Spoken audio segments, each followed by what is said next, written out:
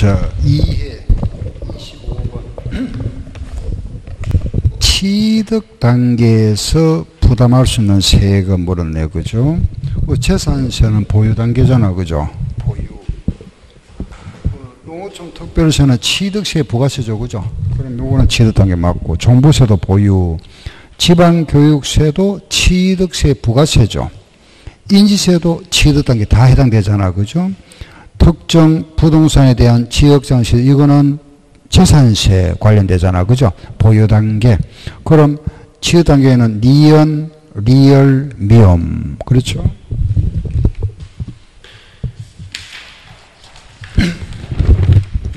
다음 26번 가산금과 중가산금에 대한 설명으로 틀린 거 물었네 그죠? 기본적으로 우리가 가상금이라 하는 것은 가상금 몇 프로? 몇 프로? 가상금. 그렇지, 3%. 그죠. 중가상금 얼마? 예, 요거는 1개월 경과할 때마다 0.75죠, 그죠? 최대 몇 개월? 60개월. 요거는 국세는 얼마 이상? 예, 지방세는 얼마? 30만 원. 요 내용이 핵심이잖아, 그죠? 음. 그럼 1번, 기억. 가상, 어, 1번 기억 틀렸네. 그죠? 음. 니은, 1개월 경과할 때마다 0.75, 맞죠? 그죠? 0.75. 음, 막, 디귿, 60개월을 초과할 수 없다. 맞네, 그죠? 음. 지방세는 30만원 기준 맞고, 국세는 100만원 맞네, 그죠? 다 맞네. 예. 1번만 틀렸다. 기억만 틀렸습니다. 음. 다음 27번. 납세의 모자. 옳은 거. 건축물의 이전으로 인한 취득으로서 이전한 건축물의 가액이 종전 건축물의 가액을 초제, 초과하지 않는 경우에도 부과한다. 그 건축물의 이전 있죠. 요거, 음.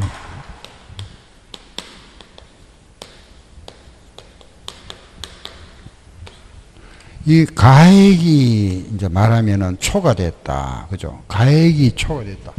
그 가액이 초과됐다면 요거는 정축을 보겠죠. 그죠? 가액이 초과, 면적 초과되면 요거는 정개축을 본다. 그죠? 그래 요거는 정축으로 인한 보존 등기 세율 정하죠. 그죠? 보존 등기고. 음. 가액 초과 없다. 그죠? 가액 초과 안 됐다. 가액에 가액은 불변 여기 어디 들어갈까요? 요게. 그렇지. 그거 들어가요. 이게. 요걸 잘못하면은, 어, 틀릴 수 있잖아. 그죠? 뭐냐 하면 여기 있잖아요. 그죠? 표준에서 우리 2% 빼는 게 있죠. 특례세율. 요 들어가잖아. 예, 요 들어가, 여기, 여기. 예? 요게 뭐냐 하면 환매 등기가 있죠. 환매 등기, 합병 등기, 그죠? 그리고 분할 등기. 음, 음. 그리고 상속으로 인한 이전 등기 있죠. 일가구 1주택. 그 요게 뭐냐면은 건축물의 이전 등기. 여기 요거 요거 여기 요거잖아. 그죠? 요거. 알겠죠? 음. 예. 그 요게 여기 들어가. 1번 부관 맞네. 그죠? 1번 정답. 그 다음 2번은 이거는 뭐 워낙 많이 나왔던 거니까 그죠? 음, 주체구조부와 함께 치동해서 본다 해야 되고 과점주주인데 설립시니까 과세 안 하죠? 음, 지목 변경함으로써 가액이 증가한 경우에 취득세 부과해야죠. 음, 정여자 채무를 인수하는 부담부 정려 그 채무에 상당한 부분은 유상으로 지정한 것으로 본다 해야 되죠. 그죠? 28번 연부란 건 2년 이상. 분할직업. 틀린 거 1번. 2년 이상. 그죠? 2번. 사실상 연부금 지급일 맞죠? 3번. 연부 제휴 중에 계약이 해지된 경우는 취득 보지 아니한다. 맞죠? 연부 취득은 연부금액을 한다. 면세점 하는 것은 연부 취득이라는 것은 2년 이상 분할 취급이죠. 그죠? 2년 이상으로 분할 납부 조건인데 이 말은 우리가 취득세에서 면세점이라 하는 것은 취득한 물건의 가액이 50만 원 이하는 면세점이다. 그죠? 그 면세점을 우리가 정하는 기준은 각각의 연부 금액이 아니고 연부금 뭐죠? 총액이잖아. 그죠? 5번 잘못됐죠. 5번 X. 29번. 취득세에서 틀린 1번. 주택법에 따른 공동주택의 개수, 개수 나오죠. 개수. 이, 이 개수라는 거는 고쳐서 수리한다는 말입니다. 개수, 그죠? 음.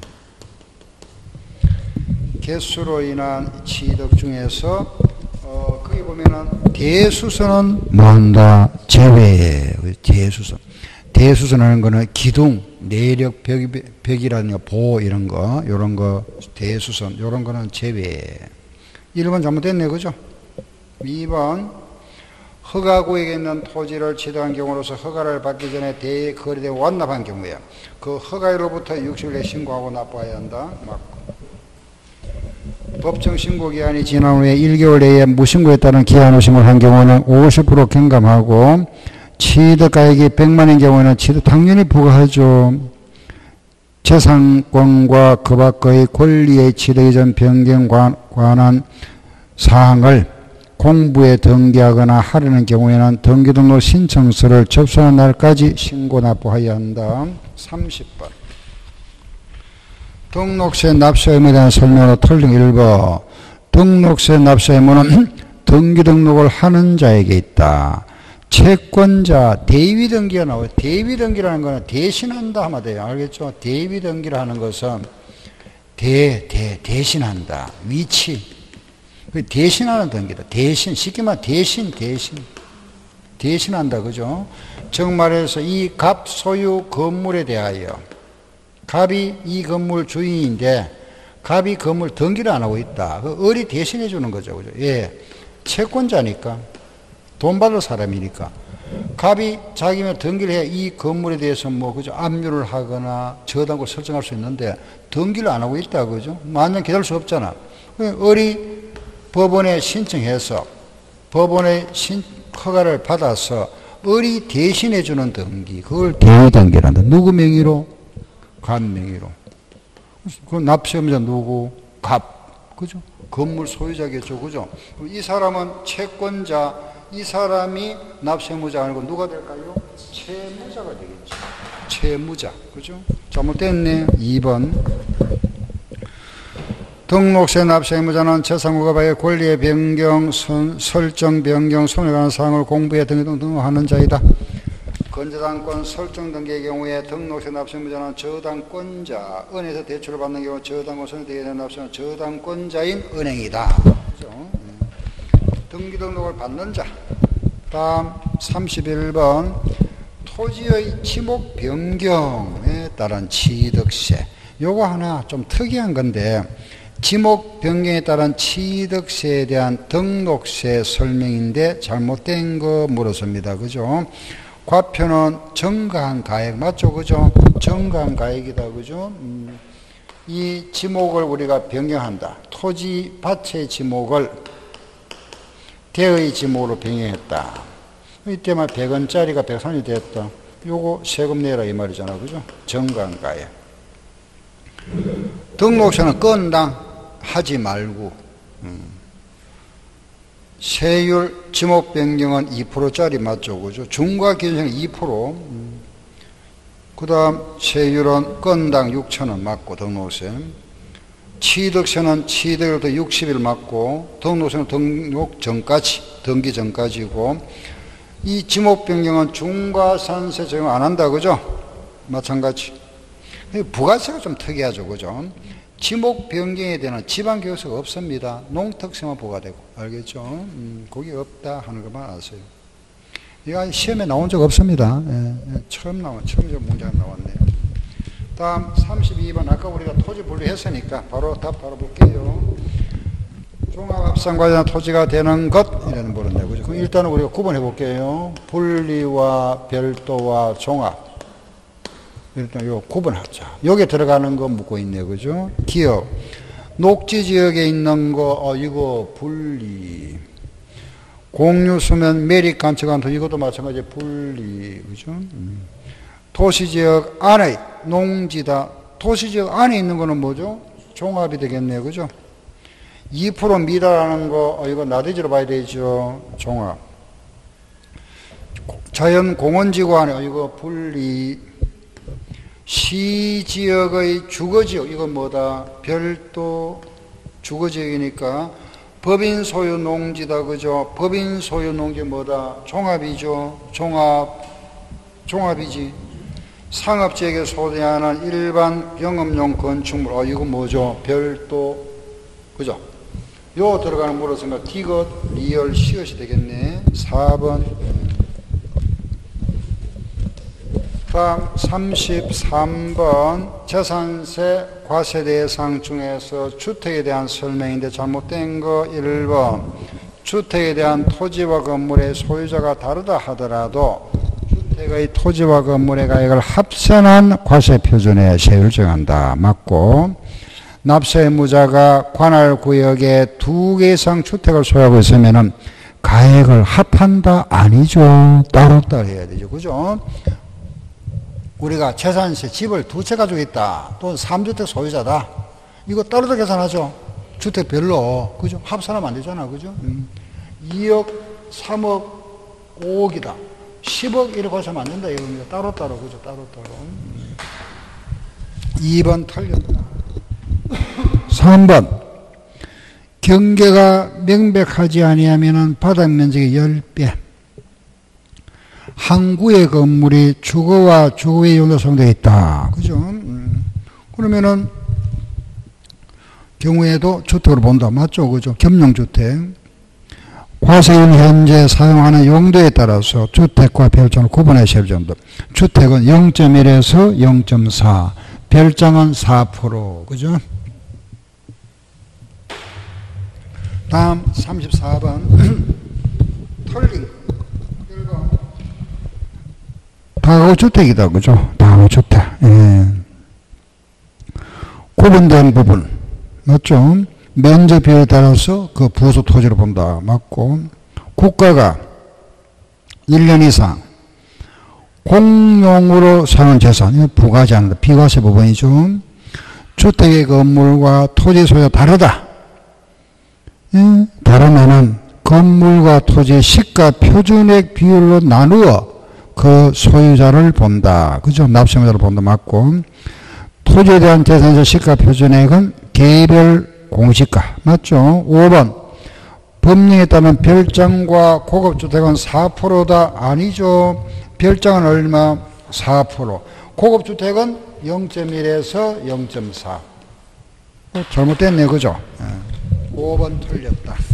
이런 문제는 뭐 쉽다. 그죠? 다음 35번 종부세 종합부동산에서 틀린 거 1번 에, 납세의무자 주택분이네요. 그죠? 6억 초과 2번 6억 초과의 공정시장가의 비율 85% 주택은 0.5에서 2.7 6단계. 그죠? 공동소유 주택 수는 공동소유자 각 각각 그 소유한 것으로 본다. 맞죠?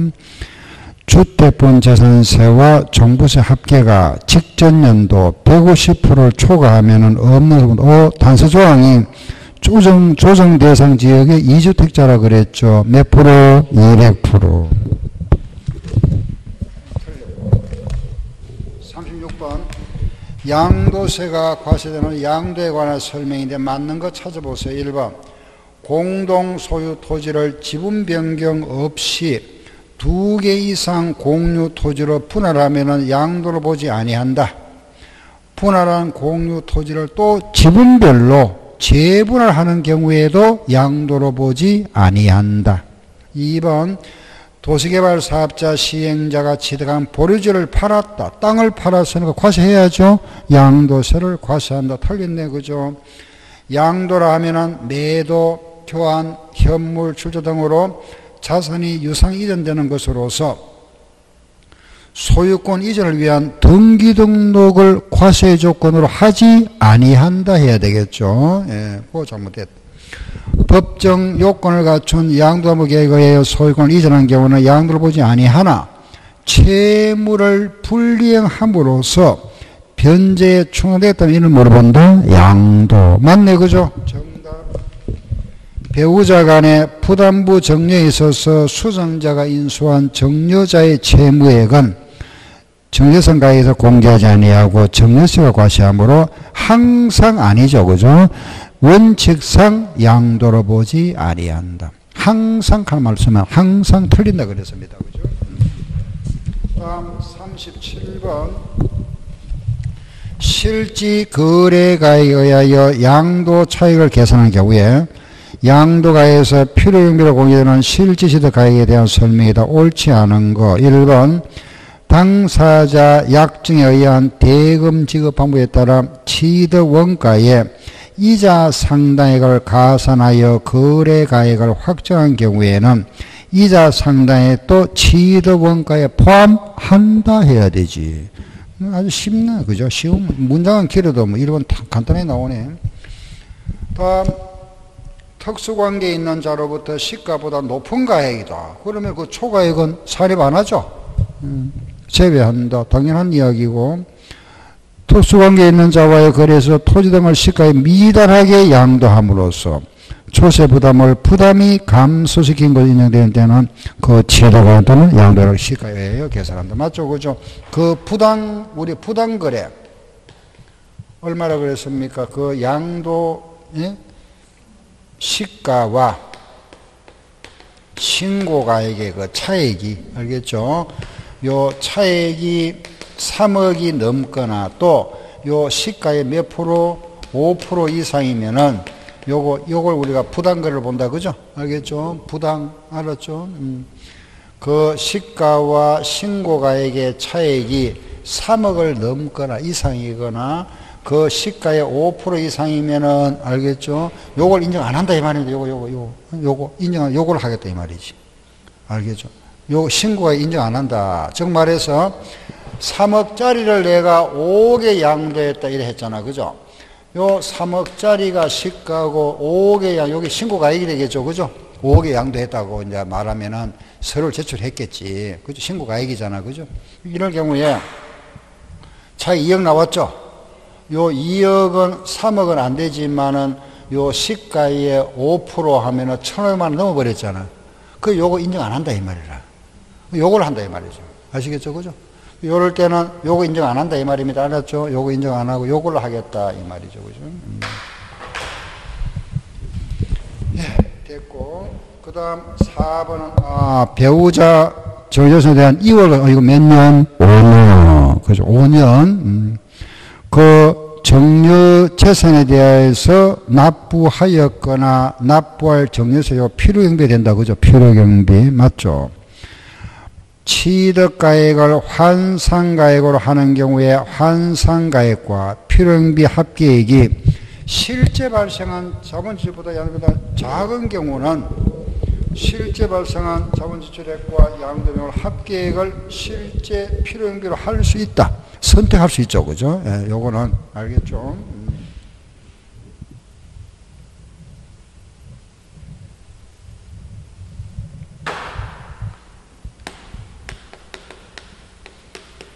양도가에 의해서 이 치드가 빼잖아. 그죠? 알겠죠? 그죠? 예, 빼고, 여기 보면은 필요미 계산 필요경비 있잖아. 그죠? 이래 있는데, 이건 이 양도 차이 되겠죠. 그죠? 있는데, 이걸 우리가 환산 가액으로 했을 경우에 이 금액 합계가, 이 금액 합계가 요거 하고, 알겠죠?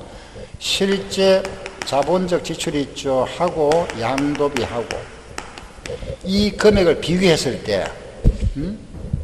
요건 이제 실제 자본 지출이죠. 그죠? 자본 지출이나 양도비를 비교, 이 금액을 비교했을 때, 그죠? 이게 크면은 이걸 할 수 있다 이겁니다. 이걸로.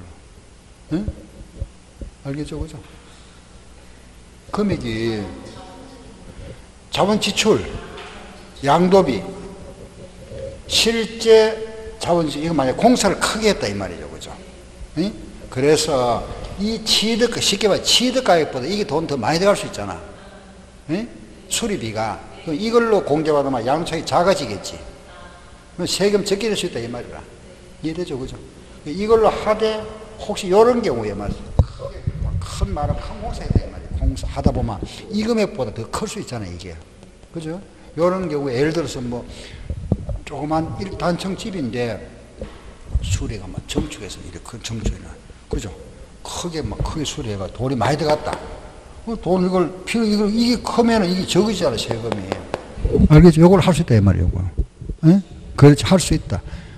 할 수 있다 그래서 해 한다 말이 아니고 해도 되고 안 된다 이 말이 알겠죠? 그죠? 이게 계산 문제 한번 나왔어요 옛날에. 나왔는 상당히 어려웠지. 왜냐하면 문제가 어, 세금 부담을 최소화할 수 있는 방법. 최소화. 그냥 이렇게 하면은 세금이 여기 양도 차익이 얼마 나온다 이러면은 최소화할 수 있는 차익이 얼마냐 물어봤거든요. 요게 만약에 100원인데 요거는 하면 90원 나오거든. 뭐 이게 답이잖아. 응? 요렇게 계산하면 그죠? 그래 한번 나온 적이 있었어요. 그 다음 38번 양도세 세율이다. 털린 걸 찾아봐라. 1번 등기된 토지로서 1년 미만 50% 등기된 건물로서 2년 이상 6에서 40이 피상속 어, 상속이네 그죠? 상속 재산. 우리가 상속받았다 아버지가 소유하고 있다가 아버지 돌아가시고 아들이 상속받았다가 이걸 팔았다. 이 경우에 예를 들어서 그죠? 그 아버지가 게 1년 7개월이다. 그리고 또 1년 7개월이었고 음, 아들이 기간은 6개월이네, 그죠? 그럼 몇 개월 보유한 거죠? 얼마 보유한 거죠? 합해야 되잖아, 그죠? 우리가 세율을 적용할 때는 여기에 말하면 상속이 여기 원칙이라고 그랬잖아, 그죠? 요게 상속 개시로부터 요날까지인데 여기 되는 경우 있다 그랬죠. 그죠? 요렇게. 예외. 요거 예외. 여기 원칙이다. 여기 원칙. 여기 예외가 있다. 특히 하나 시험에 대비해서 요거 알아놔야 되게 요거예요. 알겠죠? 세율 보유기한 계산할 때. 한 여기 들어갑니다. 알겠죠? 그죠? 세율. 음. 그래서 어 물론 또 이제 같이 아, 같이 살았다 아버지하고 살았던 기간도 합산하죠. 요걸 한 합산, 그러면 이게 몇 년? 2년 3개월이네? 아니죠? 2년, 2년 1개월이죠. 그죠? 2년 이상이가 얼마? 6에서 40여 되겠네. 그죠? 네? 어, 틀렸네? 3번. 음. 비사업용 토지, 비사업 토지는 10% 할증이니까 16에서 50이다. 맞죠? 그죠? 할증과세. 1년 이상 2년 미만은 40%, 1년 미만 50%, 확정 신고 기간은 내년 언제죠? 5월 달이죠. 음. 예.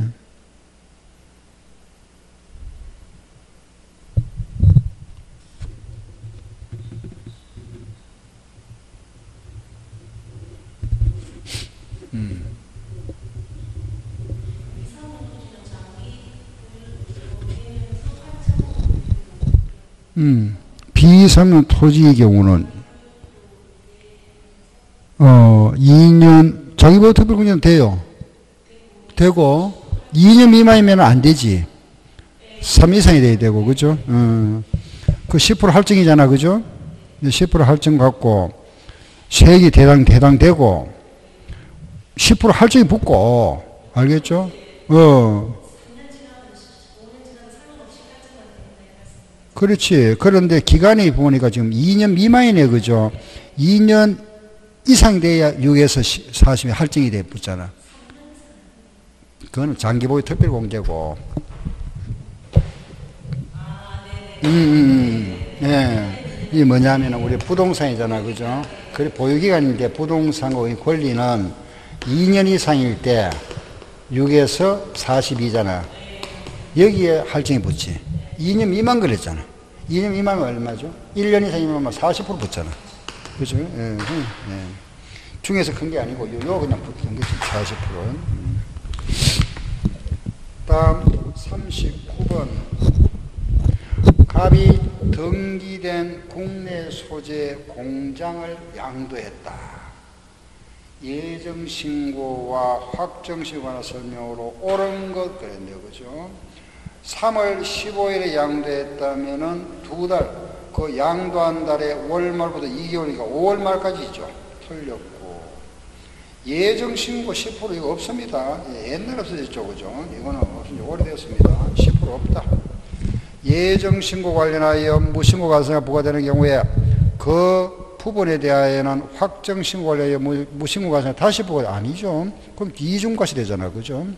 한 부과됐다면은 무신고 가세가 부과되지 아니한다 해야 되고 예정 신고를 할 때 납부할 세액은 양도 차익에서 장기 보유 특별 공제와 기본 공제를 한 금액에 해당 세율을 계산 맞죠, 그죠? 예, 뭐 틀리면 없니? 확정 신고 기간은 다음 연도 언제죠? 5월 달. 그죠? 틀렸다. 40번. 국내 소재 상시 주거용 건물. 이하 주택이네, 그죠? 틀린 거, 고가주택이 아니다. 1번. 주거용 건물 임대비 발생하는 결손금은 과세표 계산할 때 경제한다. 결손금은 빼줍니다. 3주택 이상 합계가 3억 이상인 경우는 사업소득 과세된다. 맞죠? 그 3주택 계산할 때, 그 3번, 그 개정되었습니다. 알겠죠? 주택수 계산하는 거. 계산할 때, 거기 하나 기억하세요. 그 면적이 있죠? 40입니다. 40. 바뀌었습니다. 알겠죠? 원래 60 맞아요. 60인데 여기 바뀌었다. 원래부터, 원래부터. 원래 3억인데 여기 또 바뀌었어요. 2억으로. 알겠죠? 요거, 요거, 요거. 음. 여기 2021년 12월 말까지죠. 그죠? 한 곡의 시한이, 기간이, 기한이. 음. 다음, 네, 다음, 3번 잘못됐다. 그죠? 만일 해당 주택이 국외에 소지하는 경우라면은 임대 인하에 받은 소득 주택수에 관계없이 외국에서 무조건 과세됩니다. 외국 소득 과세된다. 음. 부부가 각각 주택을 한 채씩 보유한 상태에서 그중 1주택을 임대하고 연간 1,800만원 임대를 받았을 경우에 주택 임대에 대한 과세 소득은 있다. 왜냐하면 이게 이제는 과세합니다. 알겠죠? 요게 작년까지는 과세 안 했죠. 원래부터는 과세하고 있습니다. 임대소득은 과세한다. 뭐 분리과세나 종합세에서 선택하여 과세한다 했죠. 그죠? 틀린 말 없습니다. 지금 이제 요게 우리가 임대소득은 예, 비과세 해줬는데 지금 이제 과세되니까 5번은 그냥 과세된다 하는 거 아시면 되고 요 사실 문제 특히 요거 하나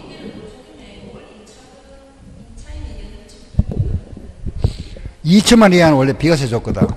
이게 연 2천만, 2천만 원 이하는 요거 과세 안 했는데 여기 지금 없어져 버렸어요. 알겠죠? 여기 없어졌으면 과세 하자고.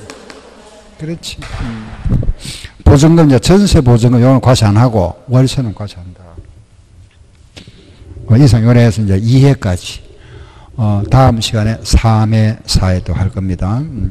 그리고 이제 우리 과정이, 다음 시간에 또 3, 4 하고 나면은 세 번 하는데 한, 또 마지막은 이제 총정리 할 겁니다. 그 다음 시간에 이제 또 3회, 4회 동영 문제 풀고 풀이하고 마지막 날은 이제 총정리, 알겠죠? 예, 총정리 할 건데, 요거는 하여튼, 요거는 제가 한번 준비해 볼게요. 요거는 이제 제가 아직까지 뭐, 요 총정리 할 건데, 요걸 문제로 할 건지, 뭐, 이론을 정리할 건지를 내가 한번 정리, 다시 문제 한번 정리해서 내가 하여튼, 어느 게 뭐, 문제 할 건, 요거 이제 내가 하여튼 준비해 볼게요. 알겠죠? 해서 할 테니까. 오늘 마치겠습니다. 수고했습니다. 음.